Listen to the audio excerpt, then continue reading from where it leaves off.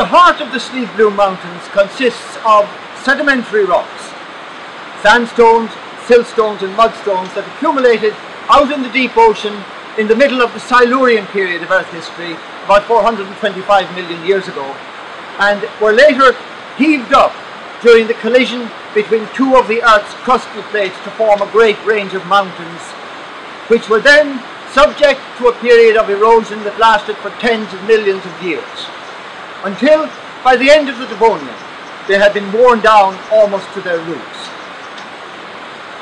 Great rivers then flowed across the flat landscape that resulted from the wearing away of these Devonian mountains. And in these rivers, sediments accumulated, as they do in rivers today.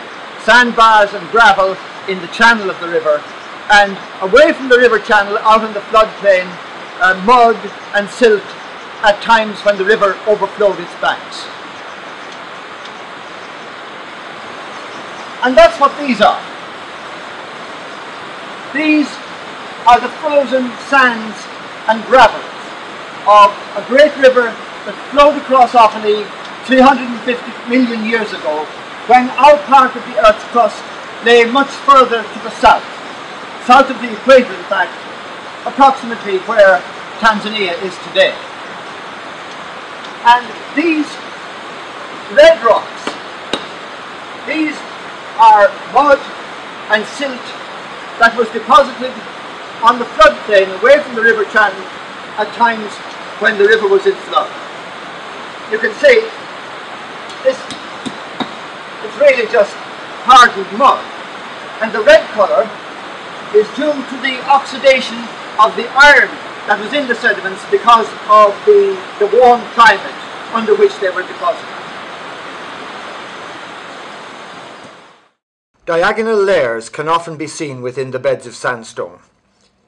This is because the layers of sand in a sandbar are deposited one after another on the sloping front of the bar, and measuring their angle of repose can help us to work out the direction in which the ancient river was flowing at this point.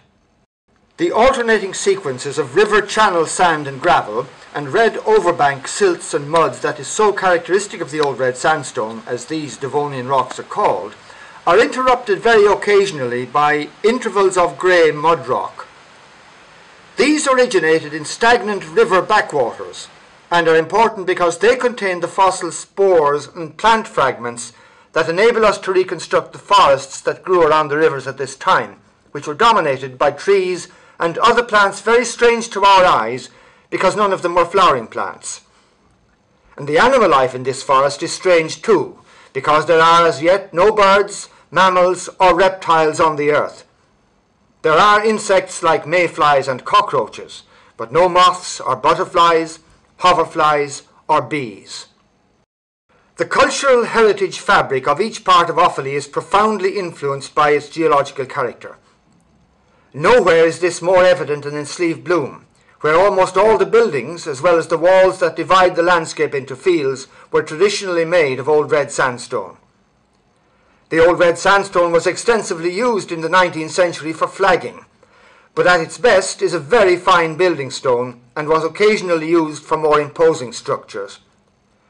It is the stone used in the building of Ballyfin House, for instance, for the pillars at the entrance to Singfield House, seen here, and for the Cumberland Monument in Emmet Square in Birr, erected in 1747.